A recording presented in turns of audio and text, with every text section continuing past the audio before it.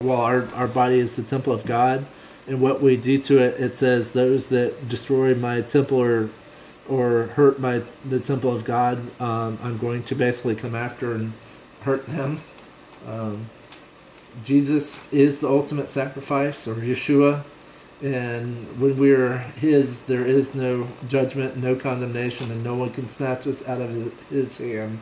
It comes out of John.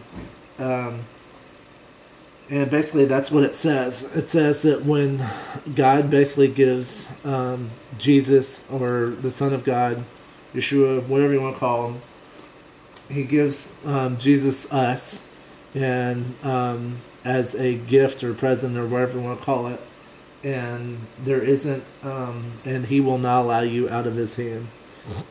Um, but that doesn't mean we can not mess up. That just means um, and I believe strongly about this next one. We are being controlled and manipulated by this world. Uh, music, TV, and the devil, and we have to break away from the world. Um, music and TV um, and everything of this world um, numbs us to what should and shouldn't be allowed. Um, there's things that the TV and movies are hard pushing um, that's very blatant now um, like sex and drugs and um, running over people and lying to people and cheating on people and um, things that the Bible clearly says do not do. Um, so, and if you look at um, when Jesus was in the desert, Jesus was tempted, and he basically uh, the authority of this world is the devil. God has ultimate authority, but the devil has authority over this world. Um, but the devil is not allowed to do anything more than what God allows him to. Um, I've also learned that God controls creation and has made it made made it for us to use, not abuse. We have dominion and should treat it better. Um, we do have control over his. Well, I mean, he has control over the clouds, the rain, um, how everything works together, how cold and whatever. Um, these floods and everything that you're seeing that's being called uh, so-called climate change, it's not climate change. It's God's judgment and His waking up. Um, they are. He's deadly serious about uh, what He wants, and He brings these floods. He brings all these natural disasters and tornadoes and everything else because we put our trust in these man-made things and objects and we freak out when we lose one of them and god's going hey dummy uh, i want your eyes on me not on these things. Sorry. I got a bug in my throat. But god wants us um have our eyes on him and when we're repentant and in uh, what He wants, then He will guide us and um, give us what we need to to be here. Um, this world is hard, but heaven is worth it. Um, I've learned that this world is difficult. Um, the narrow, the path is extremely narrow. we do have to go through a lot of persecution. Um, I kind of believe that if you're not going through persecution, that doesn't. Um, I mean, this doesn't hold completely true, but in my opinion, um, if you're not going through persecution and having uh, people criticize you for how you live because you're living rightly and uh, repentant and all that, and, and like the Bible says, then um, you don't have a good relationship with the one who made you. Um, our job here is to um, is to have Jesus be uh, intimately uh, have a relationship with Him, and that is your ultimate goal. And because of this relationship, we want to do good works. Uh, we want to give God the glory by doing works um, that um, glorifies God.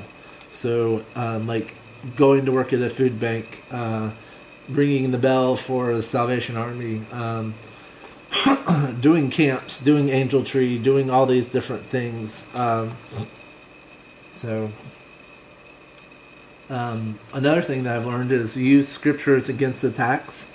What I've used, um, also known or figured out, is when you have negative thoughts and depression and anxiety come on you, and when you can feel like you're being attacked, uh, what you can do is like in the name of Yeshua or in the name of Jesus Christ, demons be gone, or these um, or these thoughts are are not allowed in Yeshua's name and I plead the blood of Yeshua or Jesus or whatever you want to call him on my life. And those thoughts, um, they don't always go away completely, um, but just know that you're in a battle, um, and that's one way that to get rid of these um, different things.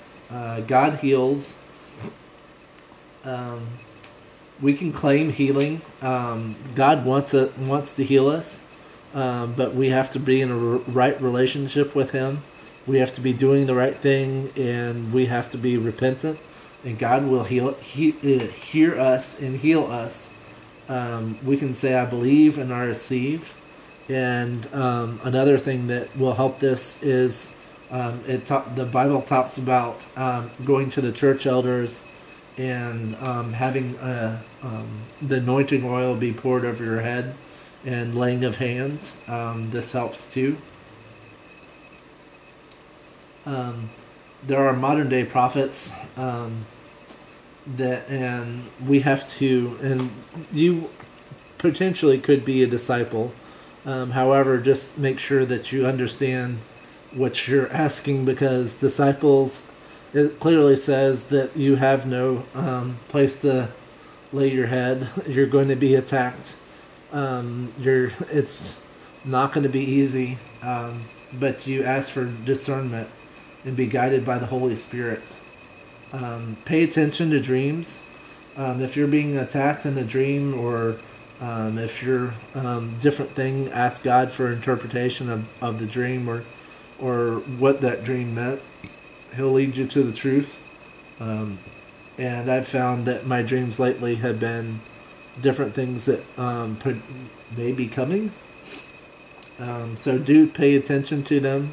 Um, if you have like sexy dreams, and I'm not going to go into it, uh, where um, then make sure that you are right with God and not allowing d- demons into your life. I was, and I was getting attacked um, in that way um, while I was sleeping. Um, and um, and just know that the spiritual world is as is as real as the real world we live in, um, and demons can attack.